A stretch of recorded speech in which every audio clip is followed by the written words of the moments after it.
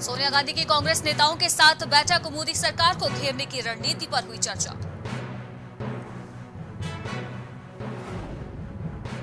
BJP सांसद गौतम गंभीर को धमकी भरा मेल भेजने वाले शख्स की हुई पहचान पाकिस्तान से भेजा गया था मेल। दिल्ली में बंद रहेंगे निर्माण कार्य, कंस्ट्रक्शन से जुड़े श्रमिकों के खाते में सरकार डालेगी पाँच हज़ार रुपए। नवाब मलिक को बॉम्बे हाई कोर्ट से झटका वानखेड़े परिवार के खिलाफ बयानबाजी पर लगी रोक।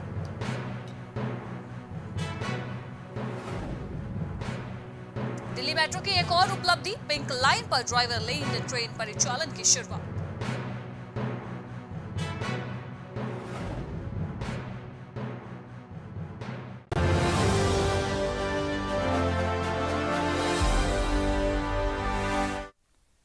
नमस्कार, उत्तर प्रदेश की खबरों में आपका स्वागत है। मैं हूँ आपके साथ अनुष्का सिंह। मिर्जापुर पहुँचे कैबिनेट मंत्री सिद्धार्थ नाथ सिंह का बीजेपी नेताओं ने जोरदार स्वागत किया। इस दौरान उन्होंने विधानसभा चुनाव की तैयारियों का जायजा लिया। साथ ही कैबिनेट मंत्री ने विपक्षी दलों पर निशाना साधते हुए कहा कि 2017 और 2019 में भी गठबंधन किया गया था, लेकिन जितने भी गठबंधन हुए, कोई भी सफल नहीं हो सका। साथ ही 2022 में बीजेपी की जीत का दावा करते हुए उन्होंने कहा कि ओवैसी को हैदराबाद जाना पड़ेगा।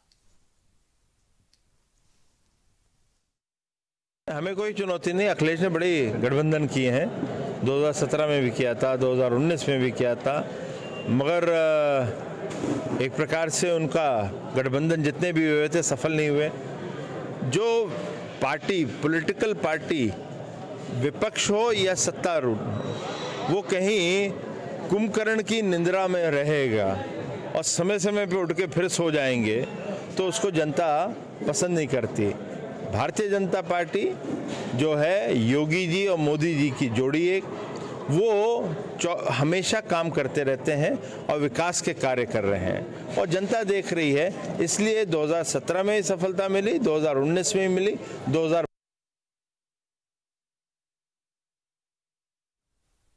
वहीं बसपा पार्टी को बड़ा झटका लगा है। आजमगढ़ ज़िले के मुबारकपुर विधानसभा से बसपा के विधायक शाह आलम उर्फ़ गुड्डू जमाली ने आज अपने पद और पार्टी से इस्तीफा दे दिया है।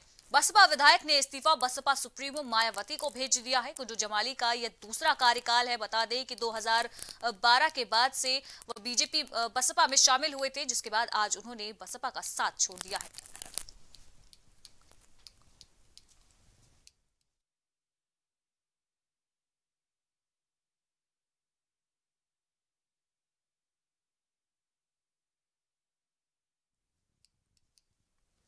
तो बसपा को आज बड़ा झटका लगा है। आपको बता दें कि विधायक ने आज इस्तीफा दे दिया है। पार्टी के कदावर नेता माने जाने वाले शाह आलम ने आज बसपा का साथ छोड़ दिया है। गुड्डू जमाली का यह दूसरा कार्यकाल है। बता दें कि इससे पहले 2012 के विधानसभा चुनाव में भी मुबारकपुर विधानसभा से वो विजयी हुए थे। हाल ही में लालजी वर्मा और राम अचल राजभर को पार्टी से निष्कासित कर दिए जाने के बाद मायावती ने गुड्डू जमाली को नेता विधान बनाया था। वहीं लखनऊ में राइस मिलर्स वेलफेयर एसोसिएशन की तरफ़ से प्रदर्शन किया गया। इको गार्डन में 10 सूत्रीय मांगों को लेकर धरना प्रदर्शन किया गया। प्रदर्शन करने वालों का कहना है कि रिकवरी प्रतिशत की समस्या ध्यान कुटाई में प्रोत्साहन राशि। राशि जो है वो बढ़ाई जानी चाहिए। होल्डिंग्स चार्ज की अवधि बढ़ाए जाने के संबंध में पिछले कई सालों का मिलर्स का विभिन्न एजेंसियों पर भुगतान बकाया है। इसी के साथ ये भी कहा गया कि धान प्राप्ति मिलर्स के डिजिटल हस्ताक्षर करने की व्यवस्था होनी चाहिए। इसके साथ प्रदर्शन करने वालों का कहना है कि जब तक मांगे पूरी नहीं होती, तब तक हंगामा जारी रहेगा।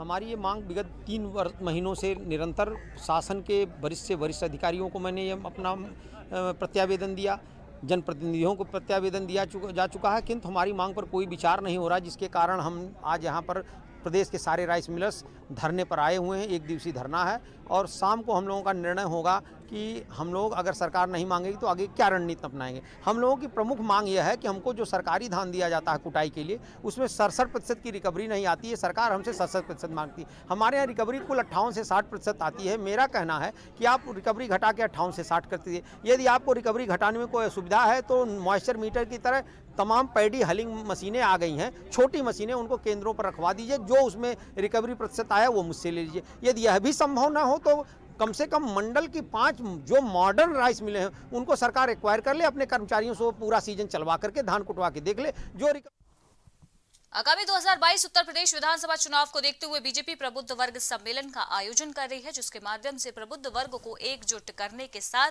बीजेपी के कार्यों को जन जन तक पहुँचाने और उत्तर प्रदेश में प्रचंड बहुमत के साथ बीजेपी की सरकार बनाने की रणनीति बनाई जा रही है। इसी कड़ी में गोरखपुर के महेवा गल्ला मंडी में व्यापारी वर्ग के सम्मेलन का आयोजन किया गया, जिसमें बतौर अतिथि के रूप में आए केंद्रीय संसदीय कार्य सांस्कृतिक मंत्री अर्जुन राम मेघवाल ने कहा कि इस मंडलीय व्यापारी सम्मेलन की तरफ़ से व्यापारी वर्ग को एकत्रित करने के साथ ही भाजपा की नीतियों और कार्यों के जन जन तक पहुँचाने का फ़िलहाल काम किया गया है। मंडल के बासठ विधानसभाओं में बीजेपी 60 सीटों पर जीत दर्ज करेगी। विरोधी पूरी तरह से समाप्त हो चुके हैं। अब उत्तर प्रदेश में अपराधी जेल की सलाखों के पीछे जा चुके हैं। काम करने का। सबका साथ सबका व्यापारी वर्ग में दिन प्रतिदिन में उनको क्या कठिनाई आ रही उसके साथ संवाद करना। उसकी समस्याओं का समाधान करना, कोई कठिन प्रोसीजर है तो उसको सरल करना, ये इस सम्मेलन का उद्देश्य है। चुनाव क्योंकि 2022 में आ रहा है तो वो भी एक विषय है, लेकिन व्यापारी वर्ग में कोई ऐसी बात हो जो बजट में हम ले सकते हैं। क्योंकि व्यापारी वर्ग दिन प्रतिदिन इन समस्याओं से रूबरू होता है। और हमारा जो घोषणा पत्र आएगा दो हज़ार बाईस में उसमें भी हम सम्मिलित कर सकते हैं कुछ बातें। तो व्यापारी सम्मेलन बहुउद्देश्य होता है। इनसे वार्ता करना संवाद करना इनकी समस्याओं को समझना अगर कोई कठिनाई है तो दूर करना बजट में कोई घोषणा हमेशा अपने विवादित बयानों से सुर्खियाँ बटोरने वाले श्रम विभाग के राज्य मंत्री रघुराज सिंह ने एक बार फिर से बेतु का बयान दे दिया है। एक बार फिर से नया विवादित बयान देकर सुर्खियाँ बटोरने का काम इस वक्त सियासी गलियारों में किया जा रहा है। उनके बयान के बाद से राजनीतिक गलियारों में हड़कंप मच गया है, जहाँ एक और भाजपा की तरफ़ से मदरसों का सौंदर्यकरण करने के साथ साथ उन्हें हाईटेक बनाने की बात कही जा रही है। वहीं दूसरी ओर भाजपा सरकार के ही मंत्री उन्हें बंद करवाने की बात करने के साथ साथ मदरसों को लेकर भद्दी टिप्पणी कर रहे हैं।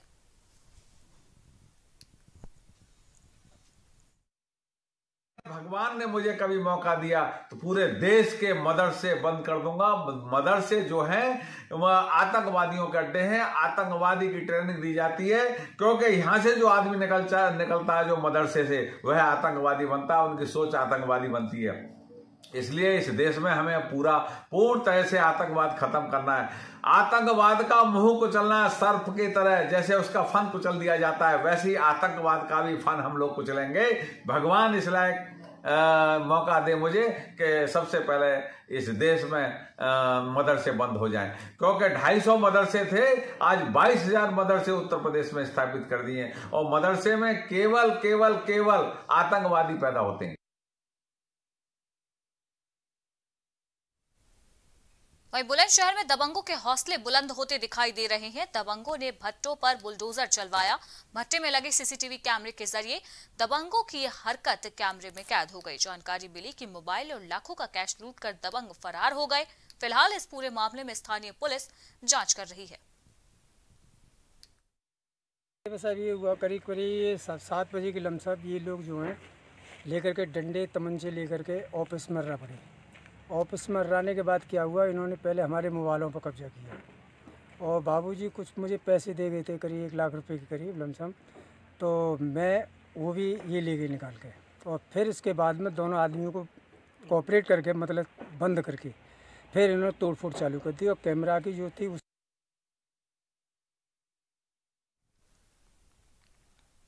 उत्तर प्रदेश के मऊ ज़िले के अखिल भारतीय रसोईया महासंघ की महिलाओं ने कलेक्ट्रेट परिसर में पहुंचकर योगी सरकार के खिलाफ जमकर नारेबाजी की और धरना प्रदर्शन किया। बता दें कि प्रदर्शनकारी महिलाओं का कहना है कि कोर्ट का आदेश आया था कि रसोइयों को न्यूनतम वेतन दिया जाए, लेकिन सरकार ने अभी तक मांगे पूरी नहीं की है, जिसकी वजह से धरना प्रदर्शन किया जा रहा है। हम लोगों की यह है कि हम रसोइया क्या जो नियुक्ति का शासनादेश है उस नियुक्ति के शासनादेश में ऐसी व्यवस्था है कि जिसका बच्चा रहेगा वो खाना बनाएँगी और जिसका बच्चा नहीं रहेगा वो खाना नहीं बनाएँगी। तो सर चयन हमारा बच्चा था तो हमारा कर दिया गया। अब बच्चा अगर हमारा उस विद्यालय से निकल करके बाहर हो जा रहा है तो हमारे रसोइयों को निकाल के बाहर कर दिया जा रहा है। इसमें अधिक उम्र की महिला काम करती हैं।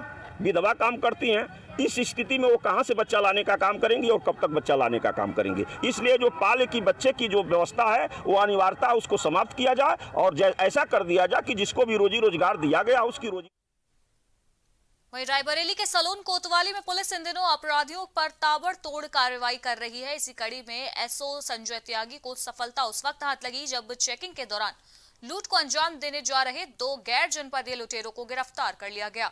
पकड़े गए अपराधी के पास से अवैध तमंचे और रुपए बरामद किए गए।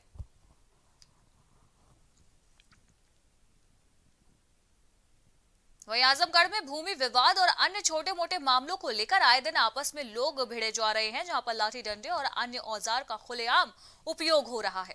आरोप लगा है कि पुलिस हल्की फुल्की धाराओं में पाबंद करके अपना पल्ला झाड़ लेती है। एक ऐसा ही मामला आजमगढ़ के तहबरपुर थाना क्षेत्र में भी सामने आया, जहाँ पर दो पक्षों में चल रही पुरानी जो रंजिश थी, वो उसने एक बड़ा रूप ले लिया और इस दौरान जमकर लाठी डंडे चले। घटना में चार लोग घायल बताए जा रहे हैं। वही वीडियो भी इस पूरे मामले का वायरल हो रहा है, जिसके बाद से स्थानीय प्रशासन में हड़कंप मच गया। इस मामले में पुलिस अधीक्षक अनुराग आर्या का कहना है कि एक महीने पहले भी दोनों पक्षों में इसी प्रकार से विवाद हुआ था।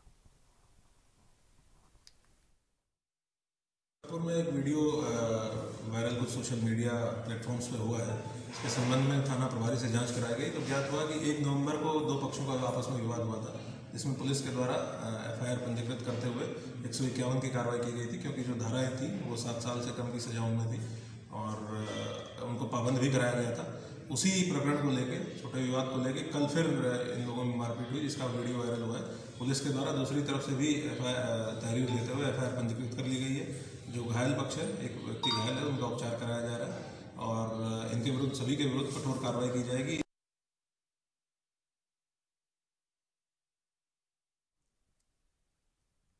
तो आजमगढ़ में दो पक्षों के बीच जो है, वो खूनी विवाद देखने को मिला है। तस्वीरें आप देख सकते हैं। मारपीट का वीडियो सोशल मीडिया पर तेज़ी के साथ वायरल हो रहा है। जिस प्रकार से दोनों पक्षों में रंजिश देखने को मिली है, उसके बाद इस विकराल रूप लेने के बाद इस पूरे घटनाक्रम में कई लोग घायल भी बताए जा रहे हैं। फ़िलहाल वीडियो के आधार पर पुलिस कार्रवाई की बात कह रही है। आजमगढ़ शहर कोतवाली के मुकेरीगंज पॉलिटेक्निक कॉलेज के पास युवक ने खुद को गोली मारकर आत्महत्या कर ली। सूचना पाकर मौके पर पहुँची पुलिस। छानबीन में जुट गई है। पुलिस ने घटना स्थल से एक तमंचा बरामद कर लिया है। फ़िलहाल शव को पोस्टमार्टम के लिए जिला अस्पताल भेज दिया गया। शहर कोतवाली प्रभारी डी के श्रीवास्तव ने बताया कि युवक की शिनाख्त फ़िलहाल हो चुकी है। पुलिस का कहना है कि जाँच की जा रही है और उसी के आधार पर आगे की कार्यवाही होगी। आज लगभग बारह पैंतालीस बजे थाना क्षेत्र कोतवाली में, मुकेरीगंज में एक सूचना पुलिस को प्राप्त हुई। एक लड़के के द्वारा खुद को गोली मार के आत्महत्या करने की सूचना पुलिस को प्राप्त हुई है। इस सूचना पर तत्काल थाना प्रभारी को मौके पर भेजा गया, फ़ील्ड यूनिट को भेजा गया है। सूचना सही पाई गई। माथे में गोली मार के आत्महत्या की गई है। मौके से एक तमंचा भी बरामद हुआ है परिजनों से भी बातचीत की गई है। उनके द्वारा आत्महत्या करने की पुष्टि की गई है। फ़ील्ड यूनिट के द्वारा तमाम साक्ष्य इकट्ठे किए गए हैं, फिंगरप्रिंट्स लिए गए हैं। और इसमें आगे की जाँच में जो भी बातें प्रकाश में आएँगी, विधिक कार्रवाई अमल में लाई जाएगी।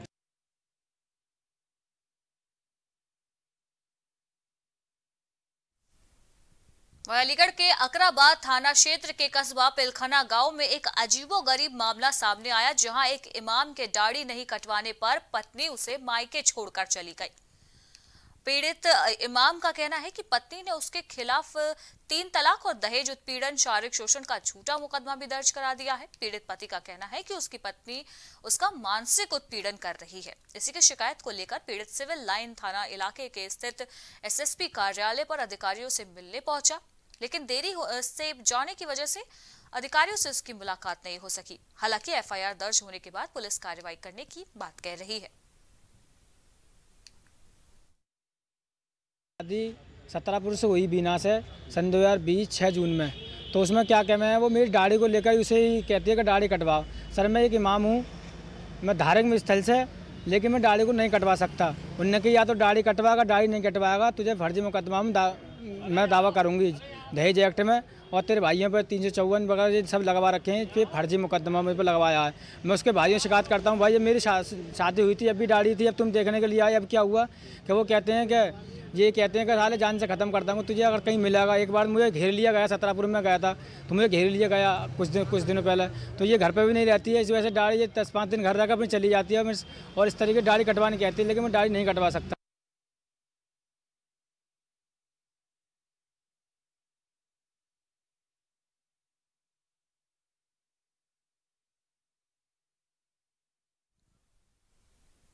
वही सिद्धार्थनगर में UP educational ministerial officer association के आह्वान पर शिक्षा विभाग में कार्यरत राजकीय कर्मचारियों ने डीआईओएस ऑफ़िस पर धरना प्रदर्शन किया और धरने और कार्य बहिष्कार के इस निर्णय को लेकर एसोसिएशन के जिला सचिव ने बताया कि उनके एसोसिएशन के प्रांतीय अध्यक्ष 22 सूत्रीय मांगों को लेकर 22 नवंबर से बेसिक शिक्षा निदेशक लखनऊ कार्यालय पर अनशन पर बैठे हैं। लेकिन अभी तक शासन स्तर पर मांगों के निस्तारण के लिए कोई भी पहल नहीं की गई। इसलिए पूरे उत्तर प्रदेश के डीआईओएस कार्यालय पर कार्य बहिष्कार कर धरना दिया जा रहा है। जी। आज UP educational ministerial officers association प्रांतीय कार्यकारिणी के हमारे प्रांतीय अध्यक्ष श्री विवेक यादव जी विभिन्न बाईस सूत्री मांगों को लेकर के दिनांक 22 नवंबर से ही शिक्षा निदेशक बेसिक के कार्यालय पर आमरण अनशन पर बैठे हुए हैं। शासन, प्रशासन द्वारा कोई रुचि नहीं ली जा रही है कर्मचारियों की लंबी समस्याओं के प्रति, जिसके कारण उन्हें विवश होकर के आमरण अनशन का रास्ता अख्तियार करना पड़ा। वो चार दिन से आमरण अनशन पे हैं। कल प्रांतीय कार्यकारिणी ने निर्णय लिया। कि कल से पूरे प्रदेश में, कल याद नहीं, आज 25 तारीख से पूरे प्रदेश के जिला विद्यालय निरीक्षक कार्यालयों पे एक दिवसीय कार्य बहिष्कार धरने का आयोजन किया जाए, जिसके नेतृत्व मतलब जिसके क्रम में हम लोग आज समस्त राजकीय कर्मचारी जो भी हैं, माध्यमिक के, बेसिक के, आज कार्य बहिष्कार के क्रम में बैठे हुए हैं जिला विद्यालय निरीक्षक कार्यालय में।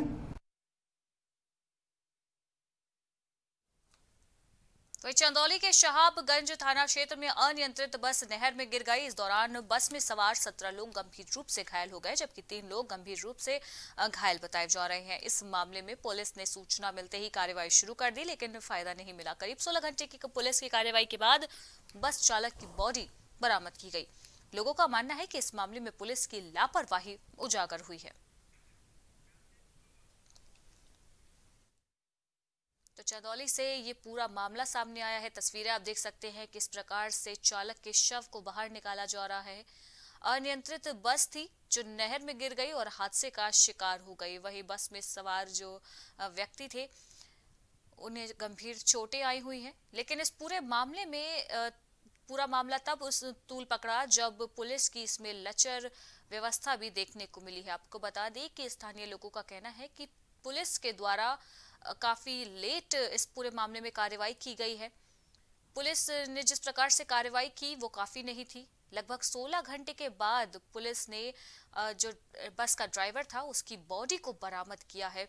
इस पूरे मामले में पुलिस की लापरवाही साफ़ तौर पर देखने को मिल रही है।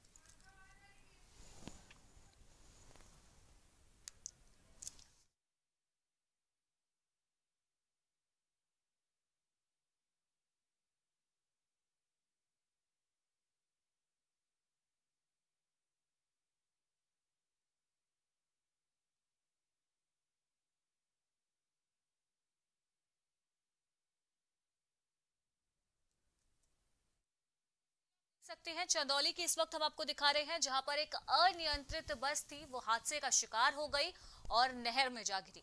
आपको बता दें कि इस पूरे मामले के बाद जो बस में सवार यात्री थे, वो गंभीर रूप से घायल बताए जा रहे हैं। फ़िलहाल सभी घायलों को इलाज के लिए अस्पताल में भर्ती करा दिया गया है। वहीं इस पूरे मामले में पुलिस की भी जो कार्रवाई है, उस पर भी संदेह होता दिखाई दे रहा है। स्थानीय लोगों की माने तो उनका कहना है कि घटना की सूचना तत्काल पुलिस को दी गई थी, लेकिन पुलिस ने इस पूरे मामले में लापरवाही बरती है। वही लापरवाही के चलते जो तस्वीरें आपको हम दिखा रहे हैं, ये सोल, हादसे के बाद 16 घंटे जो थे वो खत्म हो जाने के बाद ये पूरी कार्रवाई थी, जहाँ पर बस के अंदर से बस चालक का जो शव है, उसे बरामद किया गया है। अब आप इसी बात से अंदाज़ा लगा सकते हैं कि किस प्रकार से चंदौली में जो पुलिस है, स्थानीय प्रशासन है, उसकी कार्रवाई है। हादसे के 16 घंटे बीत जाने के बाद अगर किसी का शव आप बस के अंदर से इस तरह से बरामद कर रहे हैं तो कहीं ना कहीं जो पुलिस है, उसकी कार्रवाई पर भी अब सवाल उठते दिखाई दे रहे हैं।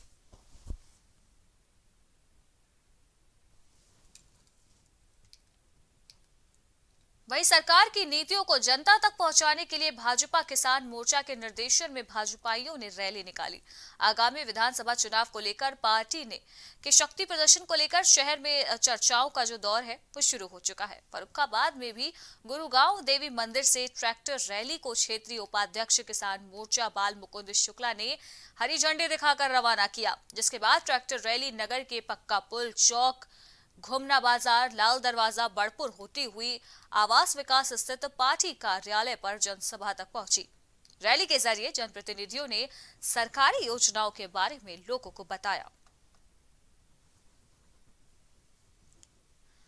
तो भाजपा किसान मोर्चा की तरफ़ से इस वक्त फरुखाबाद में पहल देखने को मिल रही है, जिस प्रकार से उत्तर प्रदेश में विधानसभा चुनाव नज़दीक आते जा रहे हैं, ऐसे में सभी पार्टियाँ पूरे दमखम के साथ चुनावी प्रचार में जुटी हुई हैं।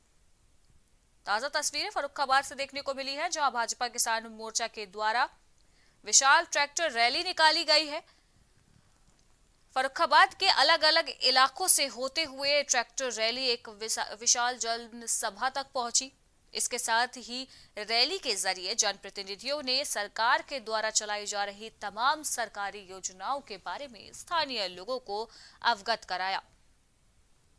भारतीय जनता पार्टी किसान मोर्चा की तरफ़ से आज ये पूरी रैली जो थी वो आयोजित की गई है। तस्वीरें देख सकते हैं आप, उस रैली की हम आपको सीधी तस्वीरें दिखा रहे हैं, जहाँ पर आज इस प्रकार से शक्ति प्रदर्शन किया गया, ट्रैक्टर मार्च निकाला गया। आप तस्वीरों में साफ़ तौर पर जो ट्रैक्टर है, उनकी एक चेन को देख पा रहे होंगे। वहीं जिस प्रकार से विशाल ट्रैक्टर रैली निकाली गई, उसी कड़ी में आज भारी संख्या में पुलिस बल भी मौजूद रहा है।